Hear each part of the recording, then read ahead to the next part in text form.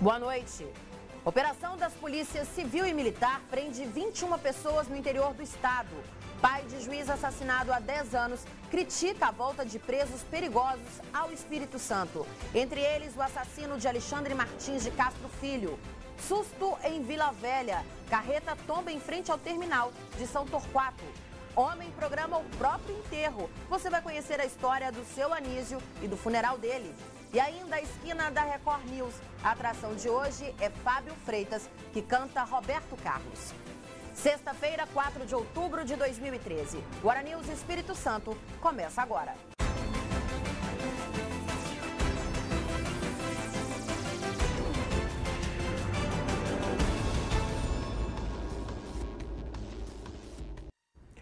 Uma operação conjunta das polícias civil e militar no interior do estado terminou com a prisão de 21 pessoas. Os suspeitos têm envolvimento com o tráfico de drogas e homicídios.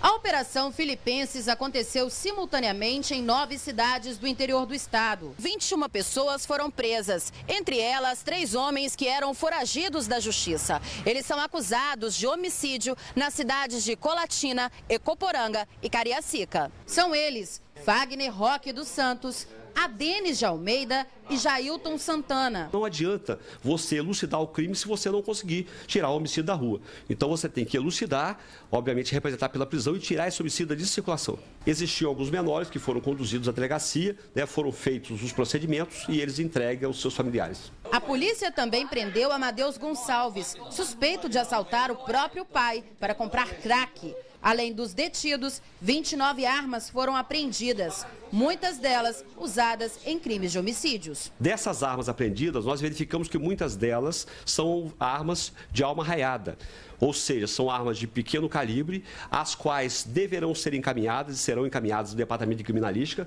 para que os projetis sejam confrontados com projetis de corpos de vítimas assassinadas no norte do estado. Cada vez que você retira uma arma de fogo de circulação, além de você propiciar uma maior segurança para a população, isso facilita a identificação de autores de crimes de homicídio realizados naquela região.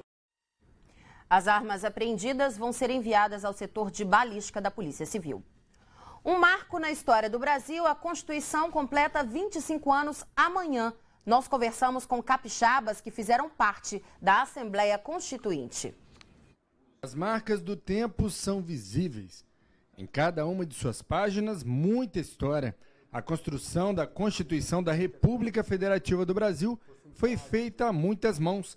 Ao todo, 513 constituintes escreveram o documento. Treze deles representaram o Espírito Santo. Vitor Boas, ex-governador do estado, fez parte dos trabalhos e lembra das dificuldades. A Constituinte foi o momento político mais importante dos últimos 50 anos. Nós estávamos saindo de uma ditadura militar, o povo totalmente reprimido, não tinha direito de reunião, não tinha direito de sindicato, o Congresso teve fechado durante um período grande. A nossa rotina diária era o seguinte: nós passávamos a semana inteira em Brasília quando era época de votação.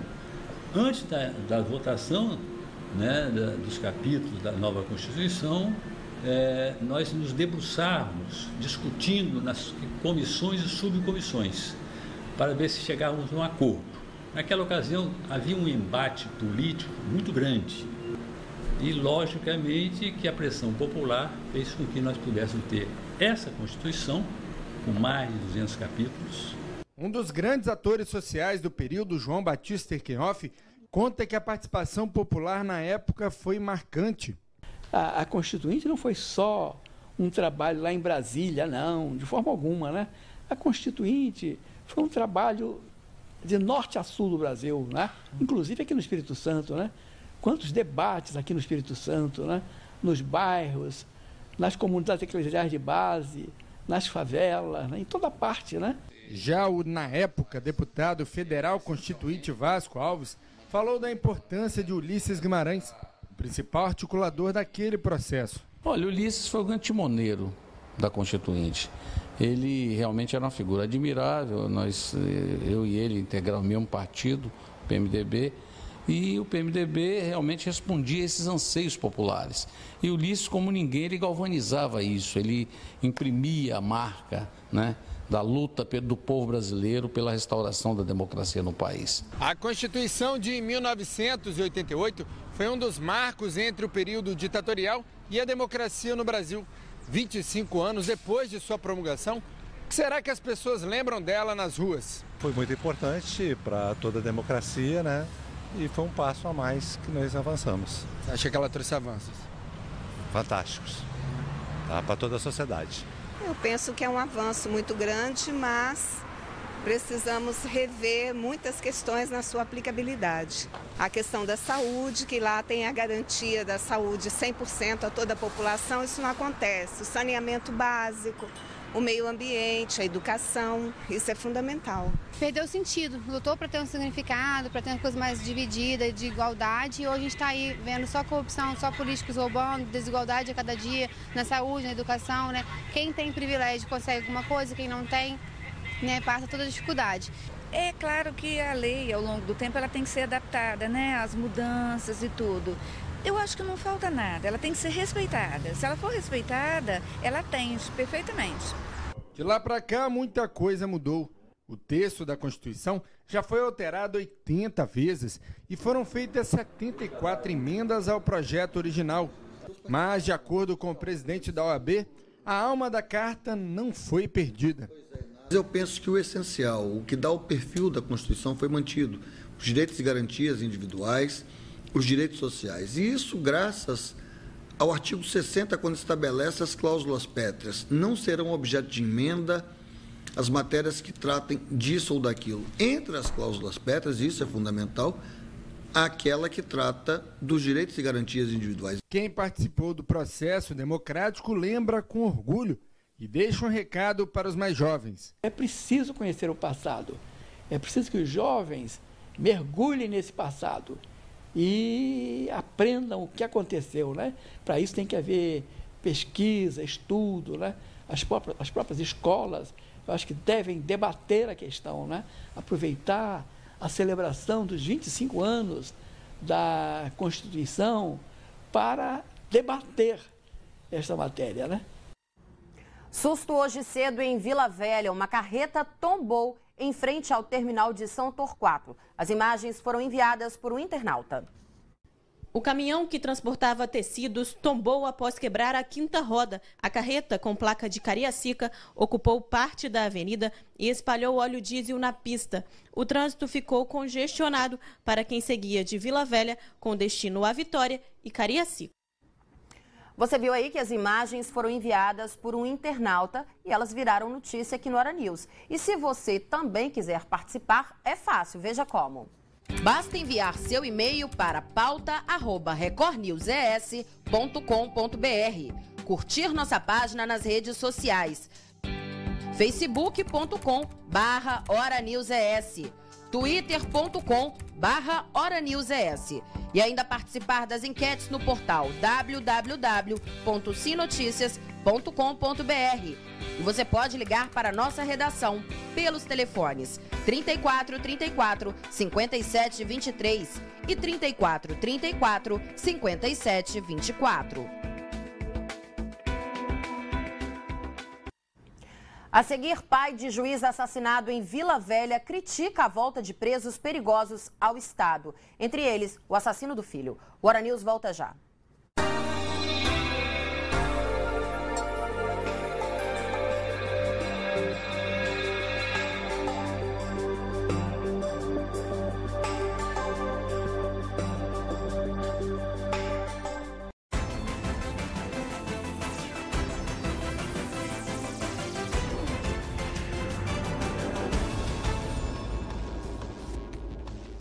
As tentativas de fraude contra o consumidor são cada vez mais comuns na internet. E por isso é importante tomar alguns cuidados antes de comprar produtos pela rede.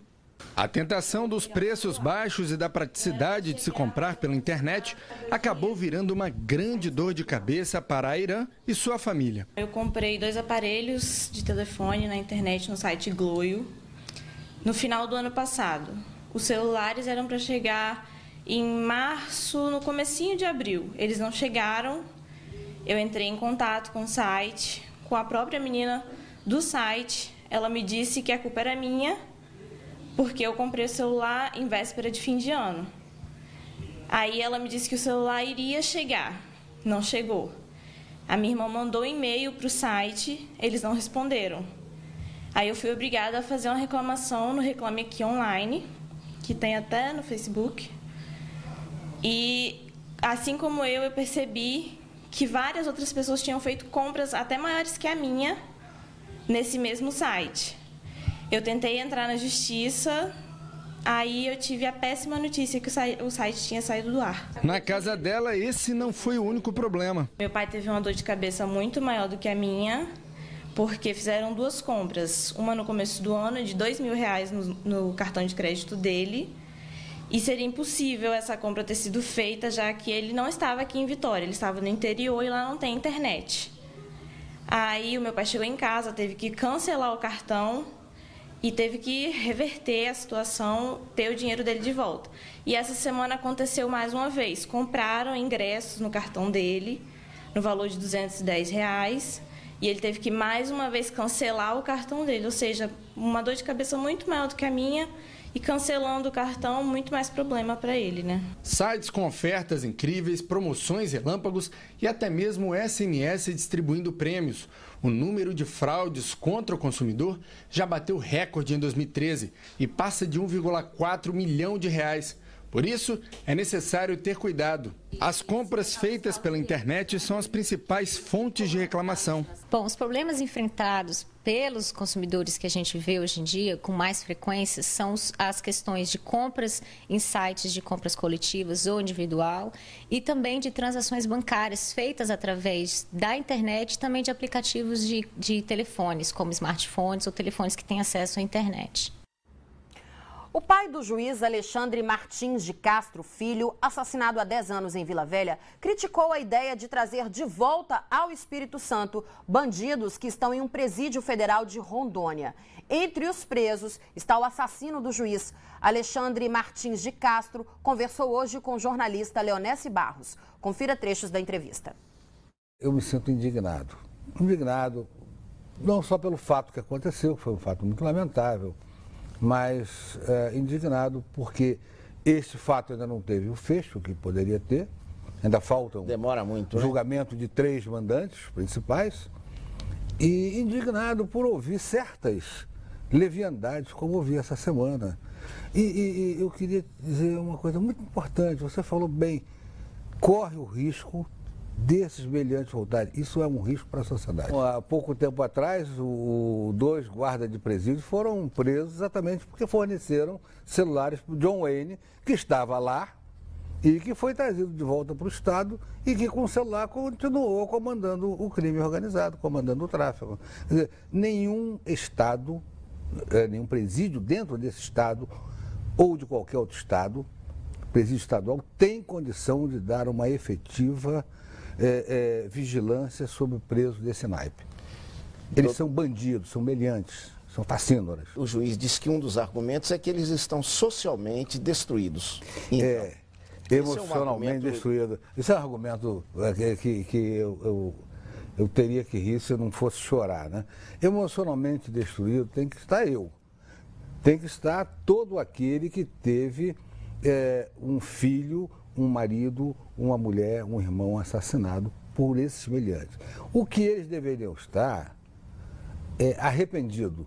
Preso dessa natureza não tem direito de ficar triste. Ele tem que se arrepender e tem que pagar pelo que fez. Eu gostaria, Ernesto, de recuperar o meu filho. Me admira muito um juiz sair do Estado do Espírito Santo, ir para Rondônia entrevistar preso e chegar à conclusão que o preso está triste. Pô. Quem pagou essa passagem para ele ir lá? A hospedagem. Nós, nós pagamos. Outros. Eu não quero pagar essa conta, meu, meu amigo Leonésio, meu amigo ouvinte. Eu não quero pagar essa conta. Não quero pagar a passagem para alguém se penalizar com quem matou meu filho. Tira o dinheiro do bolso, então. Vai lá. Isso não é papel do juiz.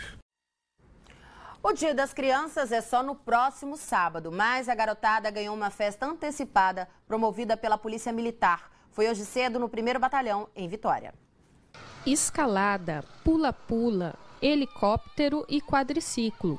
360 crianças de escolas públicas da capital participaram hoje de um dia diferente.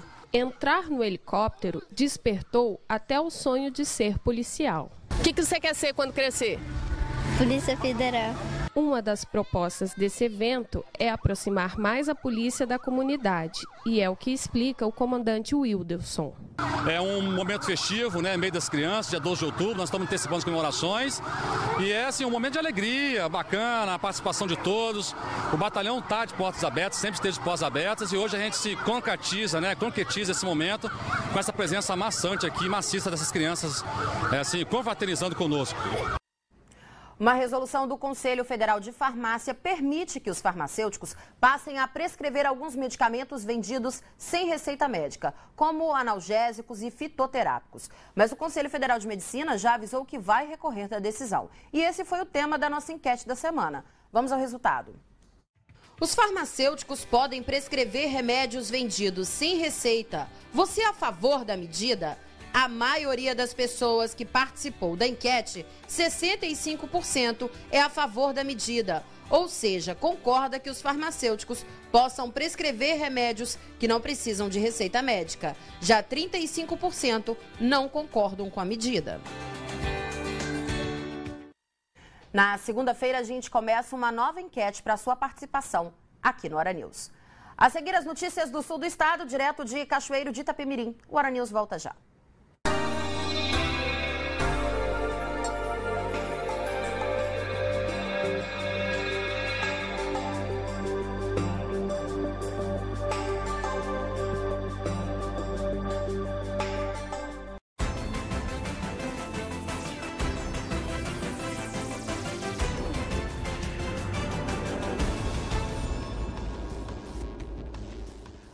Teria coragem de construir o próprio caixão e preparar um túmulo à espera da morte? Pois você vai conhecer agora a história do seu Anísio, morador do distrito de Itapina, em Colatina. Aos 87 anos, ele já organizou o próprio funeral. Itapina é um distrito de Colatina que fica à margem sul do Rio Doce. Ruas desertas, belos casarões. E é nessa casa simples na rua Domingos Martins que mora o seu Anísio, esse simpático senhor, nascido em 1927.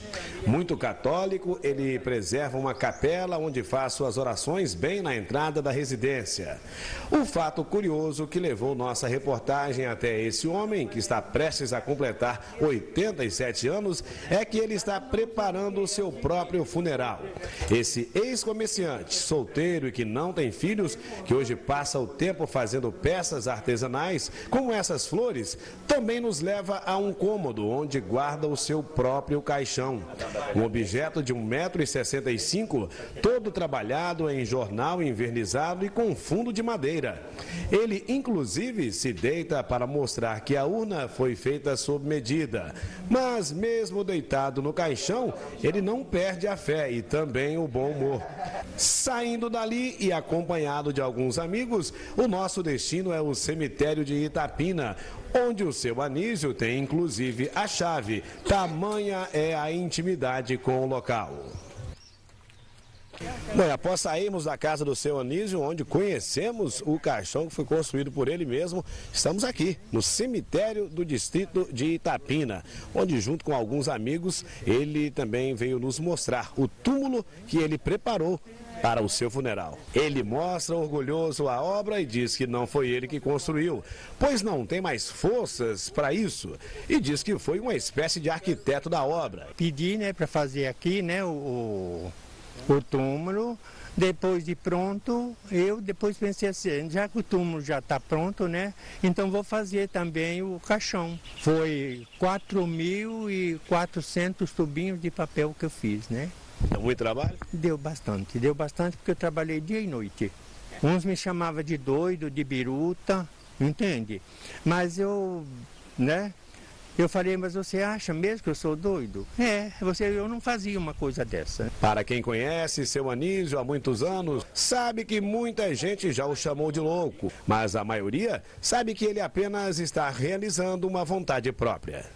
Se eu pudesse, eu faria isso também, cara, que é uma ideia muito boa, excelente. A gente fala, ah, pra mim ele é velho, é doido. Ele é, é maluco fazer o próprio caixão para ele, né? Mas tá certo. Pessoa, todo mundo fizesse assim, né? A coisa era mais fácil. O fato é curioso e na hora de perguntarmos com relação à data do funeral, seu Anísio deixa realmente por conta do destino. Não sei, aí é Deus é que sabe, né? Porque o destino da gente é Deus que está, está nas mãos dele, né? A gente sabe quando nasce, mas quando Deus vai levar, só ele que sabe.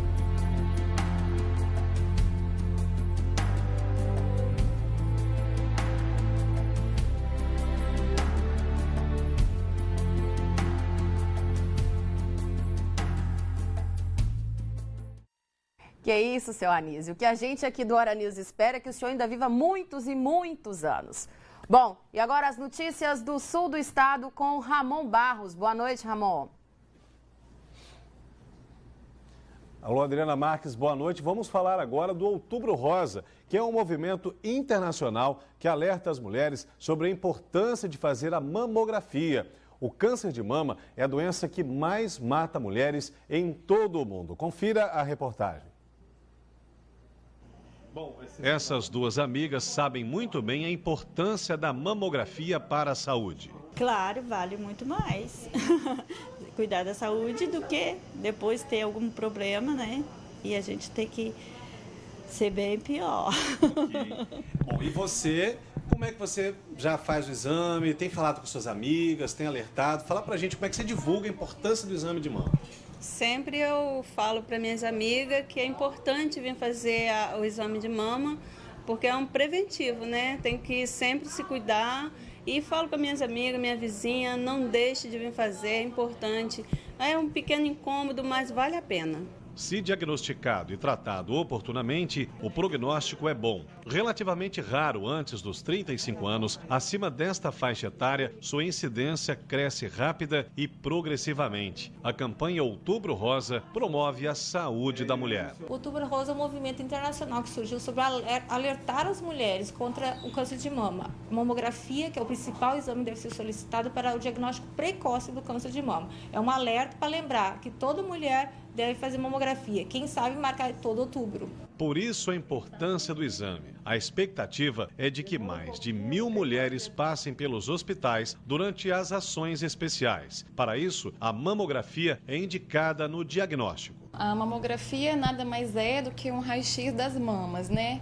E a gente vai fazer, a paciente vem, a gente faz a incidência, é, o exame, são duas, duas, duas, duas chapas né, em cada mama, né, na direita, duas na direita, duas na esquerda. No Brasil, as taxas de mortalidade por câncer de mama continuam elevadas, muito provavelmente porque a doença ainda é diagnosticada em estágios avançados. Na população mundial, a sobrevida média após cinco anos é de 61%. A gente, por exemplo, aqui no setor de oncologia, a gente tem recebido mais ou menos 10 casos novos por mês e, infelizmente, muitos dos pacientes já chegam com a doença avançada. Apesar da mamografia ser um exame para as mulheres, nós homens temos um papel muito importante nessa campanha cabe a nós incentivar, a acompanhar as mulheres, porque esse é o momento de prevenir a saúde e é através desse aparelho que o exame é detectado e é feito. É claro que causa um certo desconforto. Mas eu costumo falar assim, é um, é um exame incômodo? É, é incômodo, mas pode poupar de um sofrimento muito maior, né, mais para frente.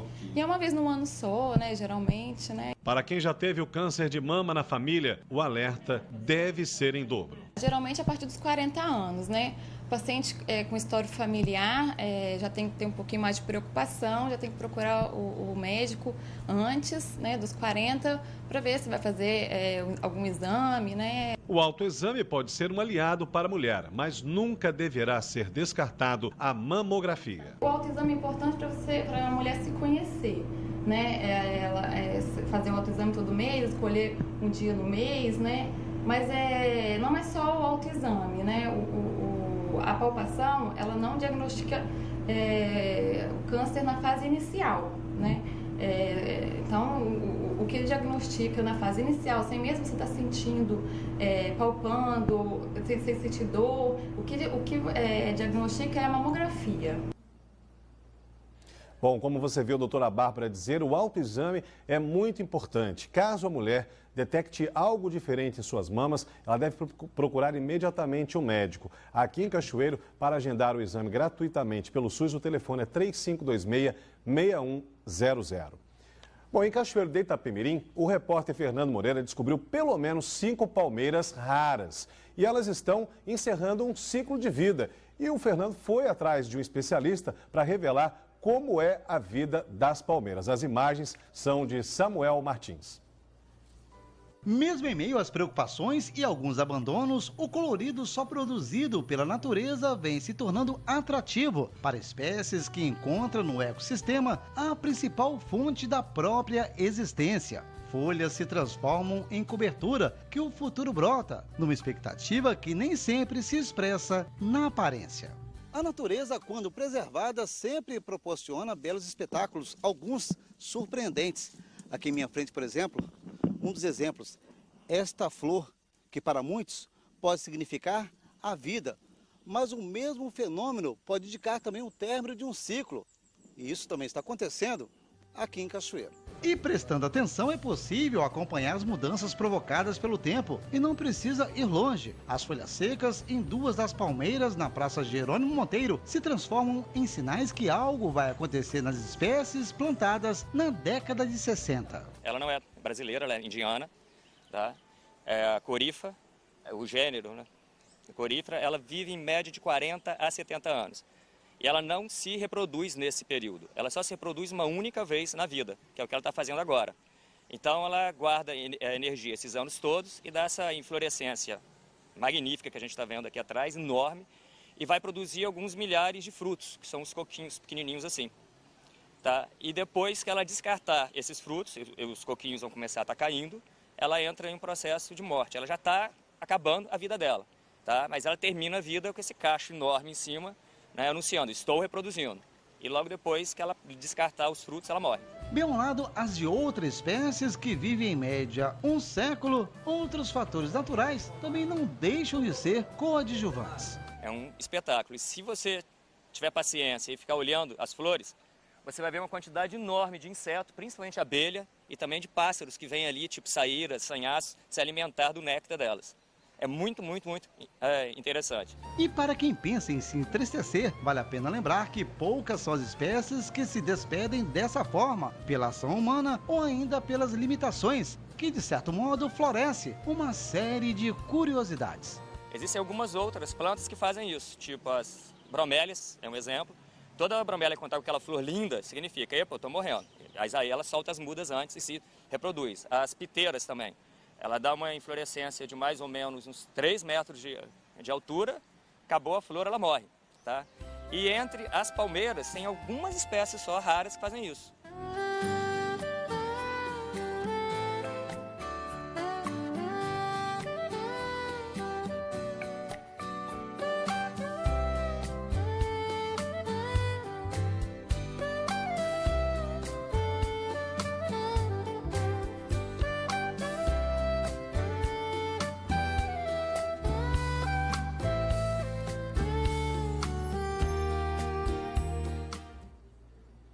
Dos símbolos de as palmeiras, ainda estão espalhadas em vários bairros da cidade. Os principais, o bairro São Geraldo, Ilha da Luz e também o bairro Valão.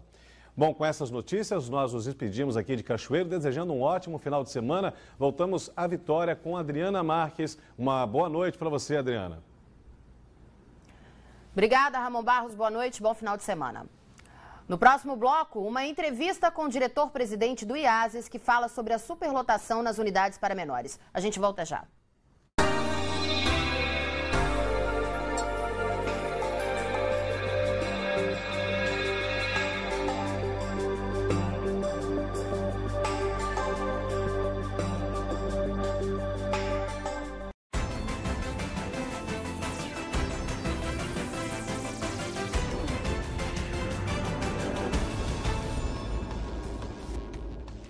Praticidade dos alimentos industrializados pode se tornar a vilã da saúde das crianças e os pais devem ficar atentos. Escolher a alimentação dos filhos é sempre um desafio. O que comprar? Como distribuir os nutrientes que um bebê precisa durante um dia? Dá para substituir os alimentos naturais pelos industrializados? Dúvidas que não saem da cabeça das mães. É difícil, né? Porque a variedade dos produtos são muitas e você tem que estar atenta à validade, à proteína, às vitaminas do alimento. Na hora de comprar, você presta atenção nisso? Tento prestar. É relativamente difícil, né? Que tem muitos produtos industrializados que eles chamam muita atenção da criança. E a gente tende a optar mais por produtos mais naturais. Mas a mídia sempre reforça muito os produtos industrializados. A, a maior dificuldade é essa. Tem muita oferta, né? E aí a gente tenta priorizar o que é natural, tenta fazer sempre, mas aí tem um industrializado que às vezes numa hora de correria não dá para preparar uma comidinha, aí você acaba utilizando. Controlar o desejo dos pequenos é outro desafio. E para aumentar a dúvida, as embalagens são convidativas, tanto para as mães quanto para os filhos. Os produtos prometem uma infinidade de nutrientes. E para completar, um simpático personagem desenhado chama a atenção das crianças. Os produtos infantis são mesmo atraentes e o melhor, são práticos na hora da pressa. Mas as mães têm que ficar atentas, porque a Anvisa está de olho nesses alimentos voltados para o público infantil. Na semana passada mesmo, a Anvisa tirou de circulação 25 produtos, como papas e sopinhas para crianças. A nutricionista diz que não substitui. A alimentação a partir dos seis meses deve ser a mais natural possível. Mas caso os pais escolham comprar as papinhas, sucos e leites industrializados, devem ficar de olho nos rótulos. A partir dos seis meses, é o momento que a criança para um pouco de receber o leite materno, que ela ainda vai continuar. A gente recomenda que seja o leite materno seja oferecido para a criança até os dois anos. Mas a partir dos seis meses ela começa a conhecer os alimentos. Então, tem que ser oferecido para essa criança, a gente começa de uma forma gradativa para a criança conhecer e se acostumar a mastigar e tal, engolir da maneira correta. Mas essa criança tem que ter a alimentação mais rica possível. Então, se você lá, lê lá no rótulo, conservantes, corantes, acidulantes, é, glutamato monossódico, que é o tipo de conservante muito comum, você tem que fugir daquele alimento. Lendo os rótulos que a gente vai conhecer aí essas coisinhas que fazem muito mal para a saúde e fazem uma grande diferença na nossa alimentação, na nossa vida saudável quando a gente retira. E caso as crianças resistam aos legumes, a orientação é não desistir. O alimento deve ser oferecido até 10 vezes. Oferecer cenoura ralada? Outro dia eu ofereço cenoura cozida, outro é, cortadinha, quadradinho, outro em palitinho. Nunca ofereço da mesma forma. Porque às vezes ela não gosta de uma forma, mas gosta de outra. Isso é muito comum.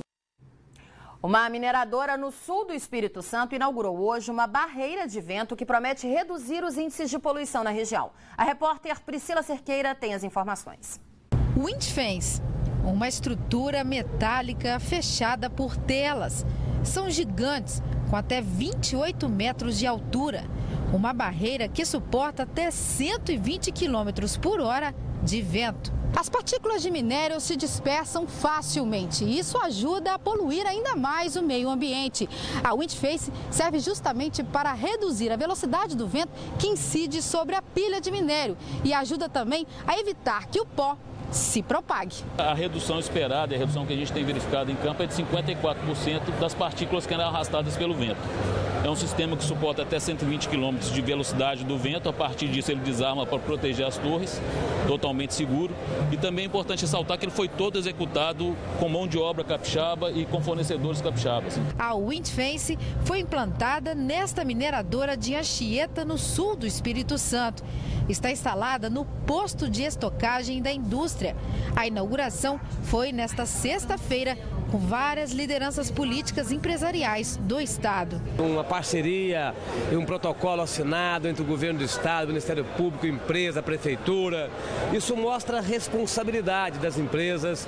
Nós queremos que as empresas se fortaleçam no Estado do Espírito Santo, mas da forma das empresas se fortalecerem é, tendo essa relação né, com a sociedade, de respeito com a sociedade. A implementação do sistema é uma das várias ações ambientais desenvolvidas pela mineradora e com termo de compromisso assinado com o Instituto Estadual de Meio Ambiente. Controle ambiental devido para pátios de estocagem de carvão, pátios de estocagem de minério, é sem dúvida nenhuma, a Windfence é um dos equipamentos de maior eficácia a esse respeito. É um investimento caro, é, é digamos assim, um convencimento das grandes empresas, eles têm, ele tem que ser é, firme, mas é sem dúvida um investimento na qualidade ambiental que toda a comunidade sente. A tecnologia implantada em Anchieta pode ajudar na qualidade do ar em todos os municípios do sul do estado. E aquela poeirinha de pó de minério que chega em casa pode acabar. Aquele material mais fino que fica na pilha, ele seria arrastado para mais longe. Com a diminuição da velocidade do vento, ele é arrastado para dentro do pátio ou numa área imediatamente após o pátio, consequentemente com menos emissão de material particulado para fora das áreas da Samar.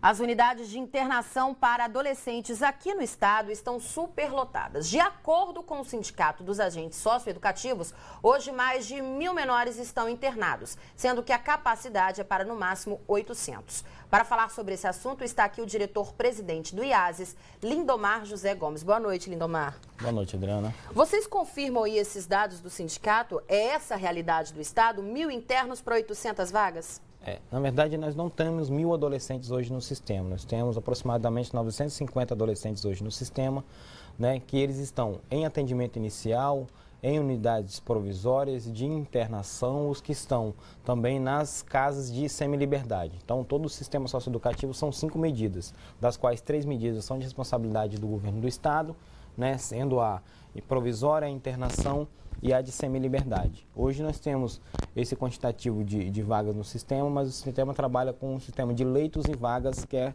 diferente né, que precisamos ter mais leitos do que vagas, porque o nosso sistema socioeducativo tem que ter a possibilidade de progressão e regressão dentro da medida, que a gente trabalha com três fases, a inicial, a intermediária e a conclusiva.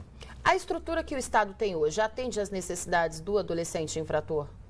Veja bem, temos as unidades hoje de internação, né? Algumas de nossas unidades que foram construídas. São quantas unidades? Nós hoje temos 14, 14 unidades 14 no em total, todo o estado. em todo o estado do Espírito Santo. Né? São 14 unidades, nós já temos previsão de construção de mais unidades socioeducativas, né? em outros municípios também do, do interior do estado do Espírito Santo, bem como na região da, da Grande Vitória. Porém, o que é mais importante para a gente não é somente construir as unidades de internação, né? Hoje tem um esforço concentrado do sistema de justiça, do Poder Executivo e agora do Poder Judiciário também de, com muita força para a gente estruturar as medidas de meio aberto, que é de responsabilidade dos municípios. Hoje o IASES tem mais de 25 convênios com municípios para atender essas questões de liberdade assistida. A gente subsidia, né, em dinheiro e também com a capacitação técnica, mas agora tem essa concentração de forças aí de todas as instituições do sistema socioeducativo para melhorar o sistema socioeducativo em liberdade assistida. Mas os problemas existem, né, Lindomar? A gente vê, por exemplo, a situação da UNAI. A capacidade da UNAI é para 68 internos, é isso? 68 adolescentes. E hoje tem mais de, de 100. Hoje a unidade está com 101 adolescentes, hoje. Inclusive, Na semana retrasada nós estávamos com 187 adolescentes. Nós fizemos algumas transferências né, desses adolescentes para as outras unidades e fizemos alguns atendimentos. O sistema de justiça colaborou muito conosco para poder fazer as audiências de, de, representação, as audiências referentes àqueles que já estão no sistema de internação de provisória, para verificar alguma progressão de medida para semi-liberdade ou para liberdade assistida. Obviamente, tudo levando em consideração um parâmetro técnico, se nada, nenhum momento foi com irresponsabilidade, né, nem análise por parte da equipe técnica do IAS, muito menos do sistema de justiça. Mas parece que tem uma, determina, uma determinação da justiça para que a UNAI seja fechada. Sim, essa determinação foi feita em julho né, deste ano pela segunda vara da infância e juventude. Foi um pedido formulado pela Defensoria Pública do Espírito Santo. Porém, nós já estamos providenciando essa desativação da UNAI. O prazo ali. já acabou? Veja bem, o prazo, antes do prazo, o prazo ainda em curso, nós demos uma entrada com um agravo né, judicial. O agravo ele ainda não foi, é, ainda nós não obtivemos a resposta.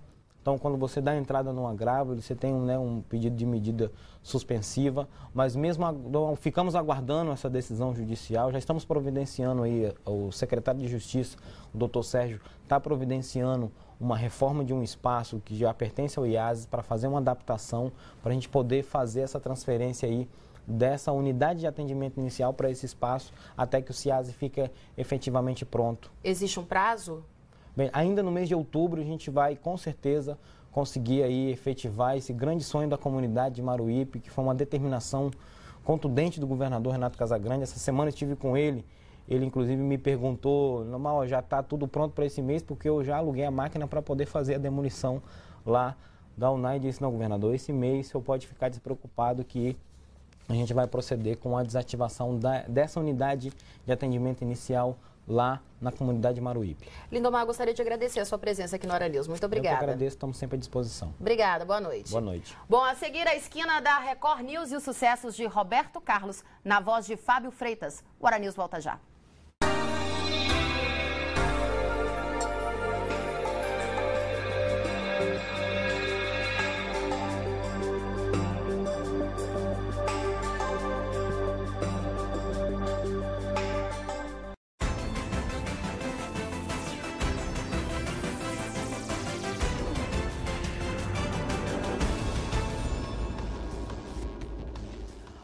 Dos viciados em crack foi retratado no, no livro Ilha Noiada, do jovem escritor Maxwell dos Santos. A história se passa na cidade de Vitória.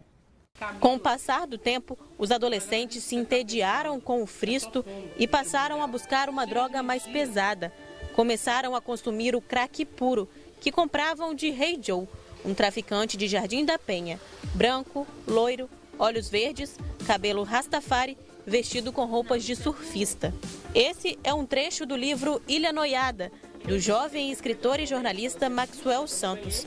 A obra conta a história de quatro adolescentes que se envolveram com as drogas, mostrando a influência do tráfico e do consumo de crack na classe média. O livro mostra como é que o crack devasta a vida das pessoas, como é que o crack é, transforma as pessoas em zumbis, escraviza, a pessoa fica dependente da pedra, fica em estado de fissura. É uma droga tão devastadora.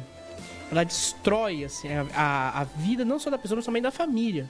O autor mora no bairro da Penha e vê de perto o que a droga é capaz de fazer. Eu me inspirei na convivência com usuários de crack e o que me foi decisivo para escrever essa história foi experiência pessoal. Que eu estava indo no centro de Vitória distribuir meus livros para os meus amigos e quando eu tava voltando, quando eu tava atravessando a Princesa Isabel para ir para Beira-Mar, uma jovem me parou, me oferecendo um programa. E eu percebi que era uma craqueira. Deu para perceber como que o a que ponto chega as pessoas em torno em torno de um vício, elas perderam, elas perdem totalmente a razão. O livro tem 88 páginas e é recheado de diálogos, mas por enquanto só existe na versão digital, que pode ser baixada pela internet. Maxwell precisa de 5 mil reais para publicar sua obra e ele tem um sonho. Para viabilizar a impressão de 2 mil exemplares da obra, para que ela seja distribuída a jovens de escolas públicas.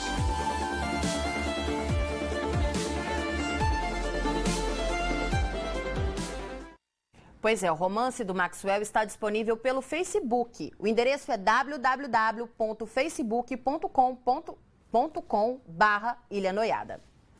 E vamos agora à agenda esportiva do final de semana.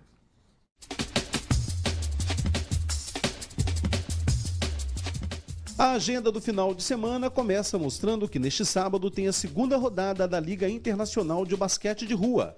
Dessa vez, os jogos vão agitar o bairro Cobide Baixo. As partidas terão início às duas horas da tarde deste sábado, na quadra que fica embaixo da alça viária do acesso de retorno da segunda ponte. A Federação Aquática Capixaba realiza durante este sábado a quarta edição do Festival FAC de Escolinhas de Natação. O evento vai ser no Parque Aquático da Estação Conhecimento Serra, que fica localizado no bairro Novo Horizonte.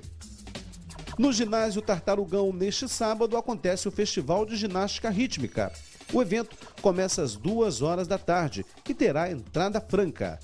O evento também é voltado para os projetos sociais da ginástica rítmica. A realização é da Federação do Espírito Santo de Ginástica. Em Vila Velha vai ter neste final de semana a quarta etapa do Circuito Municipal de Praia, um evento com as modalidades de vôlei, futevôlei, beach tênis e frescobol. A novidade do final de semana é que o beach tênis contará como etapa válida pelo Campeonato Brasileiro, valendo também pontos para o ranking mundial, levando para as areias da Praia da Costa jogadores de outros países. E neste sábado, Vila Velha vai sediar o evento Moreno Night Run. Essa será a primeira corrida noturna do Morro do Moreno e vai ter um percurso de 5 quilômetros. O trajeto é bem diversificado, com subidas e descidas. A largada oficial está prevista para as 23 horas deste sábado.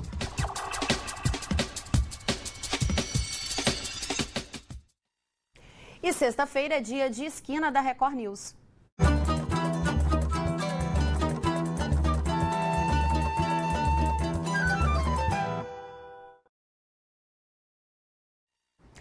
E a atração de hoje é Fábio Freitas, cover de Roberto Carlos. É isso mesmo, Sérgio Rangel. Boa noite. É isso mesmo, Adriana. Boa noite para você, boa noite para quem está em casa. Olha, pelo menos na aparência, nosso convidado da esquina da Record News parece muito com Roberto Carlos. E na voz, será que ele parece com o rei?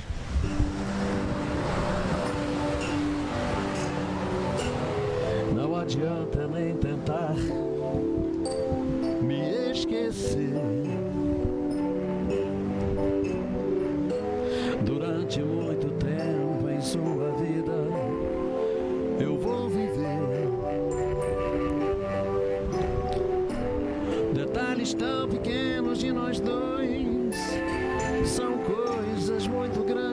Esquecer e a toda hora vão estar presentes. Você vai ver. Boa noite, Fábio Freitas, cover do Roberto Carlos. Olha, é impressionante, você realmente é muito parecido a voz também. Mas quando é que começou essa história de cover do Roberto Carlos? Obrigado. Isso tudo começou aos 11 anos de idade, né? Uma época que os cantores não eram aquilo que eu queria ver naquela, naquela época, né? Quando o Roberto entrou, eu falei, é com esse que eu vou. E até hoje estamos juntos, não largo nunca. Agora, o que, que ele tinha que os outros não tinham? O Roberto veio, foi o fator transformador de toda uma geração. Roberto veio com cabelos longos, veio com calças apertadas, calça ali, botinhas, cordões, roupas diferentes que o jovem pré-adolescente daquela época buscava. E só o Roberto nos deu isso. A gente pode ouvir mais uma do Roberto? Com certeza. Então, vamos lá.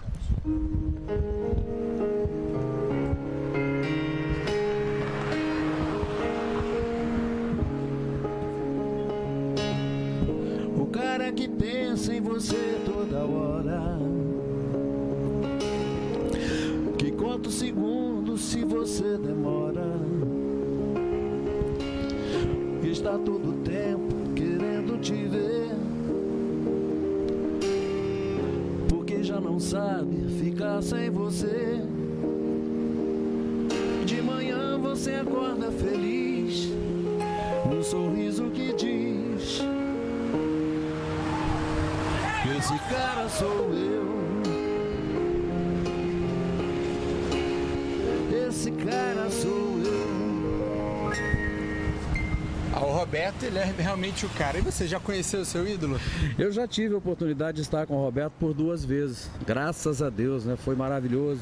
Né? Como é que foi essa experiência? Ah, foi super bacana, eu não esperava. Foi uma coisa que aconteceu assim, voluntariamente. Eu entrei para um show do Roberto em Vitória, ginásio Alves Cabral, e um fã do Roberto estava marcado para o camarim. Era um garoto com síndrome de Down e não me largou mais e aconteceu a visita. Foi muito bacana. Muito legal. Olha, e você tem agenda, tem show marcado? Tenho sim. Dia 12 agora eu vou estar fazendo às 8 horas em Guarapari, numa comunidade católica. Às 8 horas e às 23 horas estarei no centro de convenções numa grande festa também, o centro de convenções de Vila Velha. Contatos para show? 9830 1063 DDD 27. Vamos ouvir mais uma então? Vamos lá.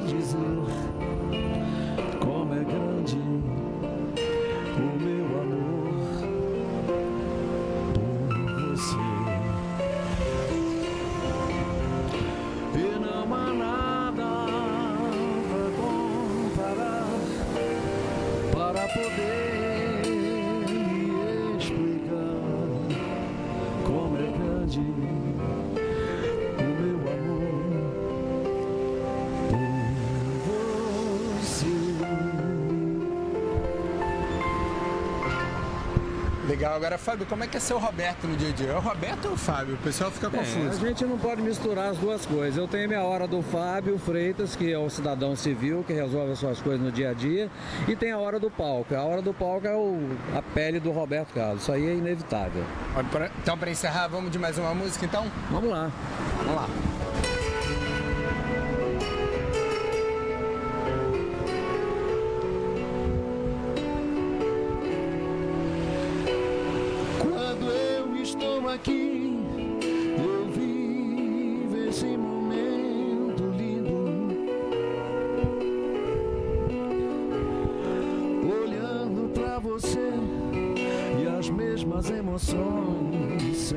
Isso Adriana. Nós voltamos com você. Obrigada, Sérgio. Bom, o Hora News Espírito Santo termina aqui. Para você, uma ótima noite, um excelente final de semana. Record News, jornalismo 24 horas de plantão. Histórias que eu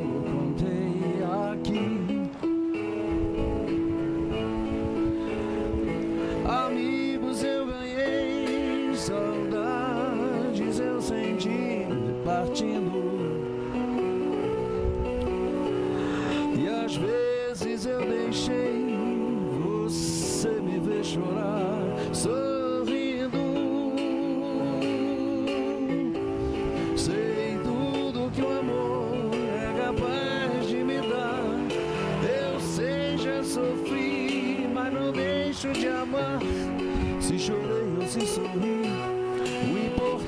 chorei ou se sorri,